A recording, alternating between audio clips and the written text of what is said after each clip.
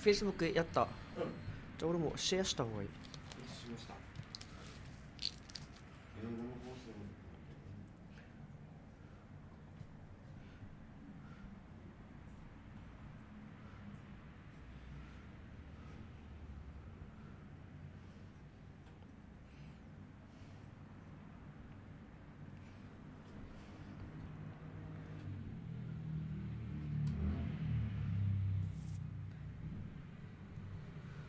オッケはい、10秒前です。マイク開けておきまーはーいす。お願いします。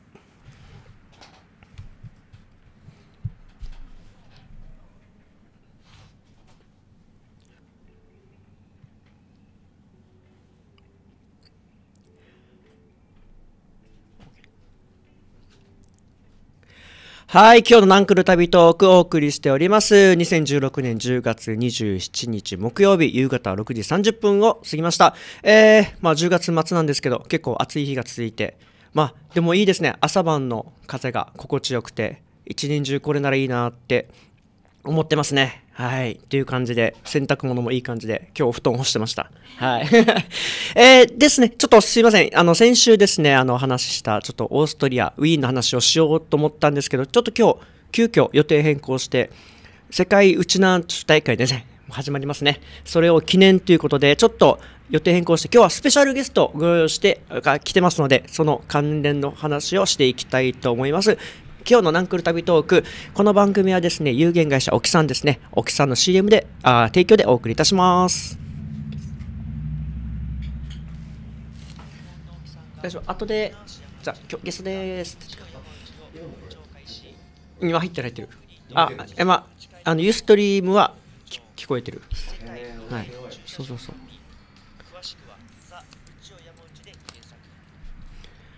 やったぜ、奥さん。この CM 自分で作って。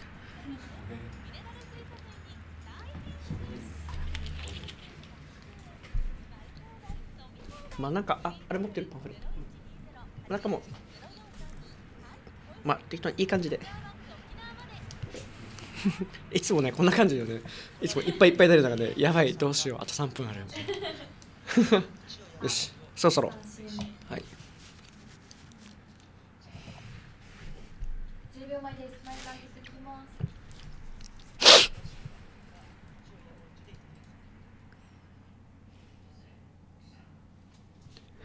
はい。今日のナンクル旅トークをお送りしております。えー、今日ですね、スペシャルゲストご用意してます。えー、来てますね。じゃあ、早速登場してもらいましょう。どうぞー、どうもですどうもどうもです。はい、どうぞどうぞ、こちらやってください。えー、はいこここちら、こちらに、どうぞどうぞ。えー、ゲストって言うんですけど、あの、実は弟です。はい弟でございますあの、ダンサーしてます。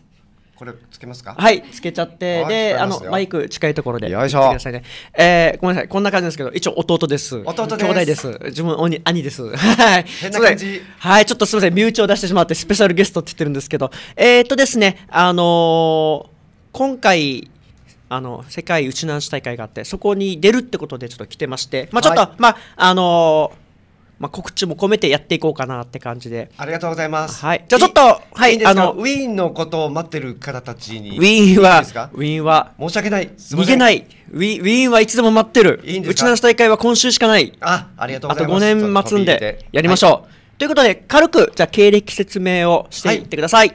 えっ、と経歴ですね。そうですね。崎山清之と言います。弟ですいや違います。弟です弟弟はい。そういう経歴じゃない。あのですね、はい。僕ダンスをやっておりまして今活動がえっ、と主に東京なんですけどもえっ、と昔ですねわかりやすく言いますとあのダンス番組でスーパーチャンプルーって DA PUMPさんがやってたねお。ダンス番組。そちらに、ウーミンというチームで出てました。あとウーミンの心っていう名前とかで、えーダンスやってましたね。ロボットダンスっていうんですかね。でその後は、えーいろいろねありますけども分かりやすく言えばあの元格闘家の須藤元気お。さんのねあのサラリーマンのスあーツ着て。みんな来てから、そうです。あの、なんかあの、CM 出てますね。春、なんか、春、春山かなんかの CM。そうそうそうそうです。であのワールドオーダーっていうね皆さん知っていますかね。そこでもメンバーとしていました。実は。そうなんです。っていうのもありまして、えーまあ、素晴らしいまたご縁もありまあ、いろんな海外のね、うんアーティストのミュージックビデオにも出たりしております。えーはい、ざっくりとこんな感じです。そうそう。あのおお兄ちゃんよりもすごいできた弟で。いやいやはい。もうすごいんですよ。あのまあなんかちょっと補足するとなんかあの海の時にはなんかユニクロの CM ウェブ CM とかああと出ましたね。ああとミッシー・エリオットさんのねチェンガリングにも出たりミュージ PV ックですねビデオ。うん。はい。ちょっとこの後も流す予定なんですけどねウィル・アイアムさんとフィー。チャリングジャスティン・ビーバーの「ザ・パワーの振り付けもやって。えっとまあそうですね何人かでこう振り考えて後半の部分から日本人がドドンと出てくる。最後になんと出てるんですよ。あのウィル・アイアムとさんとあのまあはい。あのこれは PV に出てるんでもしあのそうなんですよ。PV ですねまあちょっといろいろ YouTube とかでも検索できるんでもうちゃんとまあね、見てみてください。ウィル・アイアムにねちょっと教えてたんです。こうやってウこうやってィルアイアムに。みたいなやってましたよ。でかいっすか？でかい。でかい。でかい。やっぱりでもね俺意外と音楽聞いてね聞いたらわかるけど名前と顔覚えない人でウィル・アイアムってみんなわーってなってたけど俺知らないっていうね。あ初めて見る顔だなと思ってね。もうもったいないことした、うん。まあはね。本当は嬉しいんだろうね。わあ目の前に本物いるだけど 俺なんか初めて見た感じであどうもみたいな。ああ後々ねあこんなにすごい人だったんだ。っていうの気づいて。ですね。自分も実際分かんなかったんです。聞いたら本当すごい人なんだ。と思って。ジャスティン・ビーバーは知ってた。ジャスティン・ビーバーはい。もうあのねいろいろ問題を起こしてたけど、すごいすごい方で最近も東京に来てたなのに、はいジャスティン・ビーバーフューチャリング。フューチャリング。はい。あの CG でしか出てこなかったから実際見てないっていうね。実際その場にはいなかった。いなかったっていう。あ そうかジャスティン・ビーバーと、ね、写真撮ったらまたよかったけどね。えそしたらね。まあでもウィリアムさんもすごいですからね。えはい。ごめんなさいファンの方すみません本当に。いやそう。ですよ。と一緒にダンスをてたらしいんで。ジャスティン・ビーバーがねもしその場にいたら、ん。今ね最近リンゴにペン刺したりパイナップルに刺すようなペンってペン。ね。あーできたのにね。のね面白いよこいつらって言ってくれたらもうキッキがペンってできたかもしれない。たのにね。惜しいね。いなかった。あいやもう残念。CG だった。CG だった。会えなかった。あいや今度今度なんか今度あるかな？また。あれかな、ある時はね。ははい。い、頑張りましょう。っていう感じでねあのあれなんですよ。結構あの海外公演とかも多いみたいでなんか一応自分もまあねよくまあまあ話したりね世界一周したりとかしてるんですけど、なんかあのそう世界一周の時にですねちょうどなんかあのフランスに行くって言って あのね、フえランスのまたミュージックビデオに出るっていう。出るって言ってでちょうど自分がこの時あのあのドイツの、まあ、近くのデュステルドルフってところでちょっとあの薬物実験バイトしてしてまして。ね ちょっとそのちょっと期間空いてたんであじゃあこの間いるよ大丈夫よ行けるよって言ってちょっと無理やりなんかバスでちょっとパリに行ってねそこで会おうねそうそう会ってじゃあそのなんか仕事で行ってるじゃないですか。多分美味しいご飯食べてるんだろうなと思って。そこにちょっと紛れ込んで美味しいご飯を食べようっていう魂胆で行ったんですけど会えなかったの。ねあのあの頃まだなんだろうなネットとかね、うん。俺もいまだによくわかんないけど、うん。で日本の時にフランスにいついついるから向こうで連絡取り合って会おうねって言ったら、フランス着いたらねネットをどこでしていいか分かんなくて俺。その、w i f i とかのシステムも分かってなくて、これどうやったら連絡取っていいのかなっていうので連絡取れなくて、えーそうなんですよ。連絡取れないでなんか会えなかったっていう。めっちゃ物価高いし俺もうスーパーでフランスパンとエビアン買って で寒いからもう地下鉄の風紀口でなんていうんですかあのフローシャットの隣になんか段取りながら食べてて。もうねこれ後で聞いてねめちゃめちゃ申し訳ないって、こちらまたねすごくいいホテルに泊めてもらって。マジで？でご飯もこうなんかルームサービスで好きなだけみたいな感じだったえから、えー、ああこれだったらいけたねと思ったのにね。マジ会えなかったからね。あもうああん時の寒かった。カチカチのこのフランスパンの味が。忘れられない申し訳ないと。まあまあまあね。ちょっとわこういう魂胆だとなあんまり良くないってことですね。あそっかそっか。うね。まあちょっとってい神様が教えてくれたのかなって感じですね、はいえーなんかあと他になんか海外でやった面白い話とか。お面白い話なんか勝手に無茶ぶりするんですけどななんかなんかこんなことあったよとか。よくなんかあのええ。ねミミッシー・エリオットさんの時とかよくニューヨークとかニューヨーク行ったりとかしてたみたいなんで、あのあれですね、まあ、ワールドオーダーもそうですけど最初、大体こうゲリラでやるんですね。スーツ着てサラリーマンが。あもういきなりもう。路上で。最初はもう東京駅一作品目は東京駅をもう本当にゲリラで,、うん。で実はカメラは準備しててでみんなバラバラに散ってて今だっていう時にザッて集まって曲流してこうやるとでガードマン来たらもう逃げるっていうスタイルで。やいいねいいね。スタイルでというか、うんいいねいいね やり逃げあやり逃げってそうそうダメだねでも最悪もうプロデューサーを残してみんないなくなるっていう,、ね、あもうプロデューサーがもう全怒られてる。部全部 いいね。そう渋谷のあの交差点とかも 何回もこうやってる中でやっぱりね止められるまでやるみたいなあ感じをやってて、ーうん。まあ、もちろん許可取ってるところもね成田空港とかちゃんと許可取ってたりするけど大体はもうゲリラでやっている状態でうん。アメリカでもやっぱそうやって実は取っててはい。まあねやっぱアメリカもね怖いし、まあ確かにアメリカ怖かったね、です、大本当に。丈夫かなと思ったけど意外とうん。警官とか見ててなんかね、うーってやるんだね。ああ結構いいノリ。逆に警官もなんかちょっとこうやって「おこれだろ？ロボットだろ?」みたいな感じで ノリが良くてあは。意外とあオッケーなんだと思って。うんなんか結構パフォーマンスはもう許ね。されてるっていうか、うん。うーん不思議。顔はみんなねなんか怖そうな顔してるけど意外とめちゃめちゃノリノリだった。ああ、これはあすごいな。お国柄違うなと思って。うーん。あとねまあこれとは別で中国にも一回ショーで行った時にダンスの、はい。まあねまたそこの場所はあまりダンスをまだ見たことがないうん。ところでショーをやって。はいだからねなんかね凝凝視されるっていうね。反応なく。あなんかわーとか歓声もなく拍手もなく。それがねなんかまたある意味怖かったね。もうちょっと笑ってもらっていいのにっていうのをずっと凝視されて。何の歯もないなんか悪かったかなみたいな感じに。そう。うんあと韓国。韓国はい。いた時はまだ、まあ、今でさえねうん。韓流ブームが来てわーっと盛り上がって今韓国の人たちもすごい髪型おしゃれになってねうん。いるけど、ま、結構ね十何年か前かな。俺なんかドレッドの時はい。韓国に2人で遊びに行ってはい。ドレッドなもんだからはい。やっぱ電車でうん。めちゃめちゃ笑われてしかもあのおばさんあたりに もうお明らかになんじゃそれっていうようなジェスチャーでうわっ って笑われてはい。うわなんか浮いてますねってこのもう一人のドレッドの方と。うん。変な髪に見えたのかな？あもうよくすれ違いながら笑われたりすごいなんかうわなんかちょっと言いづらいなって思ったけど ね今はまた逆にねうん全然もうファッションもまたねあ最先端行ったりとかそうですね。やっぱ変わっていきますね。あこんなに変わるんだな国ってってまた面白く感じました。うーん。なるほど。結構海外ねなかなかそういう文化の違いっていうかちょっとねまた今は違うけどむ昔はまた変わってたっていう感じがあって、うんまあなかなかこういうのはやっぱ新鮮にうん映るかなって感じで。えということでちょっとまああの一曲、一曲いきたいと思います。あの先ほど言ったですねあの Will I Am フューチャリングジャスティン・ビーバーのお That Power って曲に PV で出てますんで、あそうですねよかったら PV 見てみてください。じゃあこの曲を流したいと思います。お願いします。はい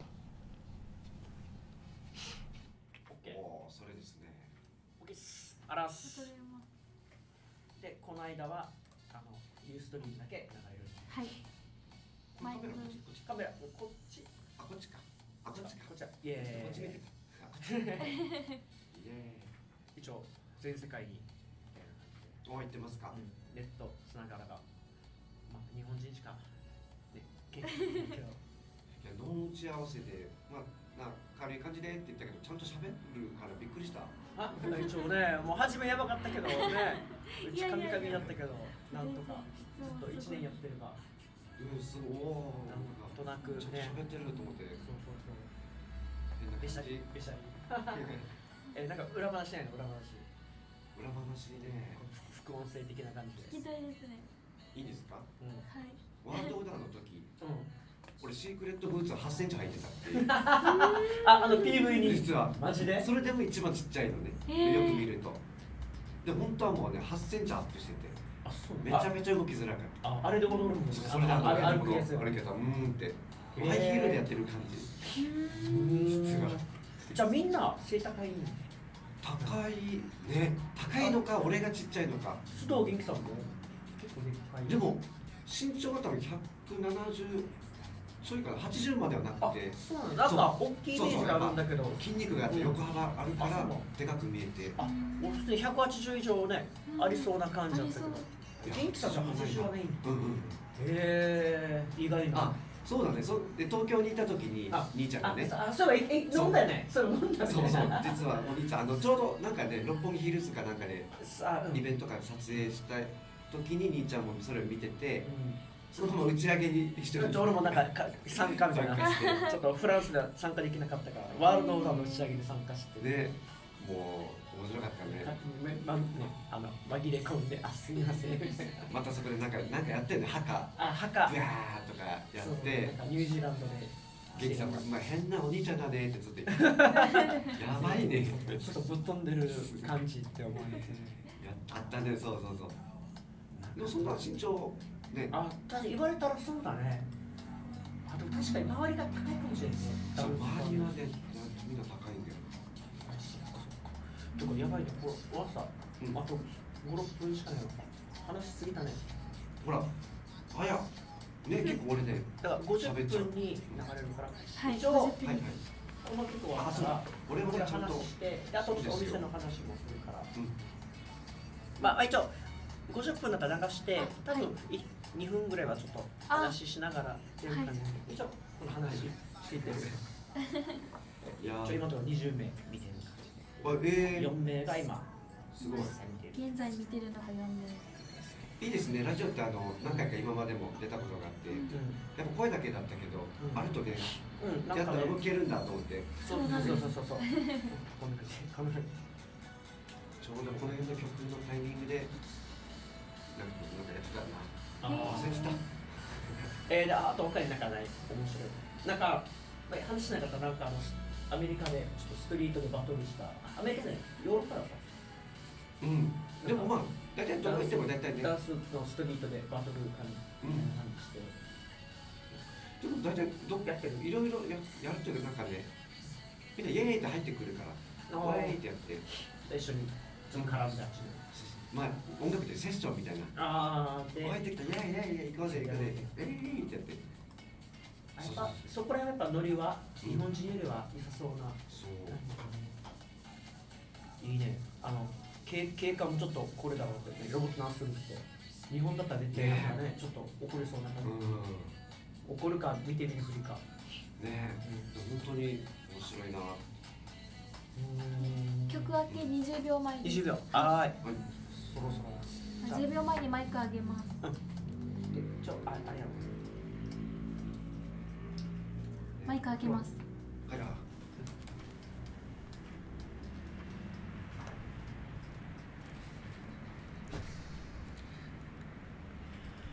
はーいお送りしました。と Will I Am フューチャリングジャスティン・ビーバーのザットパワーですねお送りいたしました、はい。えーっとちょっとなんか話しすぎてなんかもうね時間が結構あれなんでちょっとあのあの今日告知ですね。今週の告知をしてもらいたいと思います。おでどうぞ。そうですね。ありがとうございます。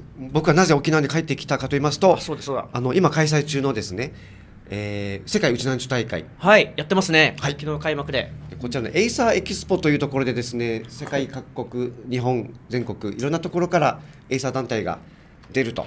はいこれはいつですか、これがねはい10月のに30日の日曜日ですね。今週の日曜日ですね、はい。場所はどちらでしょうか？沖縄県立武道館アリーナ棟で開場は9時から、開演は朝10時からやっております、はい。入場無料です。入場無料ぜひ来てください。えーそこに出るんですか？はい出ます。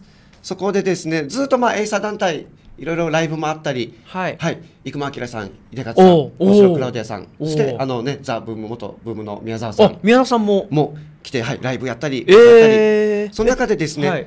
3時50分ですね、はい。ゲストライブ。はい。そこからこうグランドフィナーレに向かっていくというところの中で、僕も出演させていただきます。ああの3時50分からはい。ちょっとなんか出るらしいので、はい、もしですねあのちょっとラジオとか聞いてちょっとみなんか見たいなとかなんか興味あったらはい、ぜひ、今週日曜日ですね。そうです、日曜日です。でも朝からでやってるので、はい。もういろんなエイサー団体、はい、出るので、僕も朝から見てると思います。はい。あの結構なんかライブも秀勝さんとかねはい。大城クラウディアさんとかいけね。たあの生間はい。明さん、もしかしたら宮田さんもちょっとなんか喉調子悪いみたいな大丈夫なのかな？もしかしたら歌うのかな？まあまあちょっとわかんないんですけれども、ですね。結構豪華なアーティストが無料で見れますので、はい。あのお時間ある方はよろしくお願いします。来てみてください、はい。えーということでそ今回それで来たんですね。そうですね、それで帰ってきまして、はい。うん、もうなんか毎日、まあ、昨日も飲んだんだけどなんか毎日いろんなところに呼ばれて飲んでて、はい。どうですか？久しぶりの沖縄いやもう充電充電。ずっと充電してる感じ。お酒で ではなくて。お酒でも。あまあまあまあね。まあいいろいろね。気持ちもね。いろんな気持ちも。もうまたねうちなんちゅってのを思い出せるからすごくありがたいです。確かに、あのうち南市大会自分もあのブラジルとかそこ南米行った時に日系の方と会ったんですけど、やっぱパワーがすごいんですよ。ああ本当に。沖縄の人よりも沖縄詳しいというか、ん。もう昔の方言しゃべるし、うん。だから本当にそのねやっぱりその方を見てあ俺沖縄出身なのになんでわかんないんだろうとか。なんかちょっと、うん。まあねあとは沖縄の文化沖縄の人でよかったなっていうアイデンティティとかすごい本当に。再認識させるなって感じで。もうそれを思い出せ出させてもらえるから、うん。もう帰ってきた時はもう本当に嬉しく。そしてまた東京砂漠に東京砂漠。戻っていくという 残党残党あ 残党はいいですね。やめた方がいいね。はい。残党はい。はい、まあい。いですね。はい、えーということで、えー面白い。そうですね。もうこういう感じなのでもしよろしかったらですね今週の日曜日あの、はい。県立武道館の方ですね。はい。行ってみてください。またその周辺のところでもやってますしまた今日明日明後日やってますのであの大野山のセルラースタジアムっていうかあそこら辺中ですね、はい。あの中心でやってるんで見てみてください。ああとですね。あお時間になりましたね。ちょっともう一つだけちょっと告知で。あうちの店上野で崎山ですね。今週の土曜日とあの来週の月曜日、まあ、ささやかながら、まあ、何の飾り付けもしないんですけどあのハロハロウィン的な感じでちょっとやろうかなと思って、うん。あのまああのあれですね多分仮装どっかでいろいろしてくると思うんで打ち上げに来てください。仮装してきた人はあの指定ドリンクを一杯無料で差し上げたいと思いますので。俺もえああ、入ってますか？はい、ぜひ、はい、ななんか髪ね仮装していこう。なんか何でもいいですよ、仮装、メガネや、ななんでもいいんで、行ってもらえれば、自分の OK 出れば、いっぱいサービスしますんで。どこれが仮装だって言えば。そうだって言えば、はい。はい、よし行こまあ、脱いでなければ大丈夫です。う。はい。っていう感じで、えーちょっとじゃあ最後はやっぱなんかあの、まあ、宮沢さんも出るということで、あのブームのですね島唄を聴きながらお別れっていう感じにしていきたいと思います、えーまた来週ですね。あのちょっとオーストリアの話をしていきたいと思います。のでまた来週ですね。いいね。よろしくお願いします、えー今日のナンクル旅トーク今日はスペシャルゲストキッキはい。ーをお送り、キお迎えしました。ッキー弟でございました。弟ですね。はい。まます。たはい。来週よろしくお願いします。バイバーイ。バイバイ。あでじゃあようにさ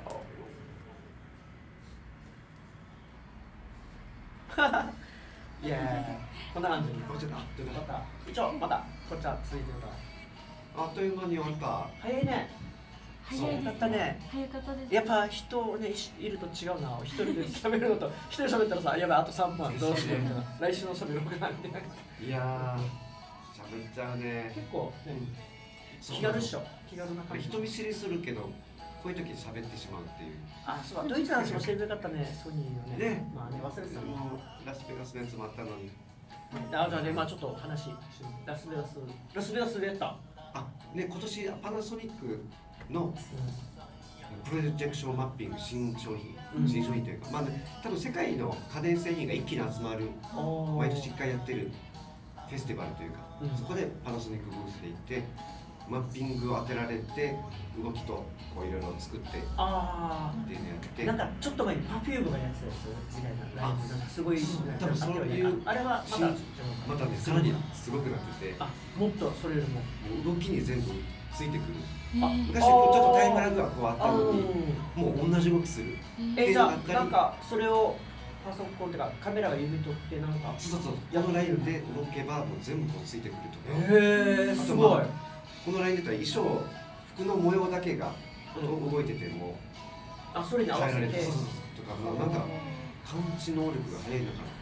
言ってることは俺分かんなかったけど皆さんすごい技術者の方ですでねそうそうそれで出てまたソニーさんとかもいてうん。いろんなブースの人たちが見に来てうん。で実はソニーさんがその時見ててで先月俺また別件でこのカメラの世界一みたいな2年に1回のカメラだけの世界的なフェスティバルにソニーのブースで俺行って。今度はパーツの方ソニーで。でしかもその時はね空手の型をやるっていう、空手でやってたから。それだけで来たけどあれ？と思って今年ラスベガスで踊ってましたって言われて、うん。ソニーの人に「え？っ?」って見てたんですか？そうあ実はパナソニックブース見に来てたんですっておなんかね気まずい感じ。で「あなんかすいません」はい」でも今回は空手なので踊りませんって言って、まあ、こう空手を真面目に演舞する。それをお客さんがいろんなカメラで試し撮りをするっていう。でうんってやっててたまにクイって変な動きとかしててそしたらお客さんちょっとおってなって盛り上がるのねあなるほどねでちょっと調子乗ってやりすぎたらソニーの人怒られてちょっと崎山さんそれで悪いんですよね。できれば。軽くねイエローカード出されてはいすいません。また真面目に。まあちょっとスパイス的な感じそうでも反応はまたね面白かった。見てる人はいや結構現地の人とかが多いやっぱり。もうもうもう。大体のドイツ。まあでも世界からいろんな企業がいっぱい来て。あれドイツの人ってさみんな背高いよね女性も言ってた。やっ170当たり前で180近い人が結構多くてえぱそうなんだ。ドイツオランダあそこら辺多い大きくて。で俺歩いてたら俺100 160ないんですよ158しかなくてなんか逆になんかめっちゃ目立ってでしかも大きいバックパック背負ってたらバックパックが歩いてる感じなんですよ。なんかなんかよくなんか声かけられてなんかなんかねえー、なんか俺マスコットキャラクターかな。みたいな感じでゆるキャラになってた。ゆるキャラ的な感じ。ですやだ本当に背高いんですよめっちゃ、えそんなこいつら。そっかやっぱ高い。うん。なんか血血筋っていうかそういうねね まああれなんだろうね。うん。そうそうなんかいつもみんな上見ながらですよ。上見ながら。えー。すごいね。いろんな人たちがいるんで。うん。反対には。ねえー、でもあと10秒で終わるのでまたなんか来てもらえば終わるでじゃああの日曜日あのぜひ県立武道館へお越しください。バイバーイ。よっしゃー